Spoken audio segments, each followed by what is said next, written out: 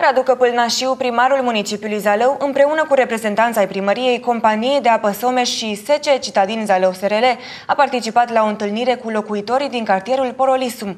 Până acum, în această zonă au fost demolate 56 de garaje, iar angajații SC Citadin Zalău continuă lucrările de reabilitare.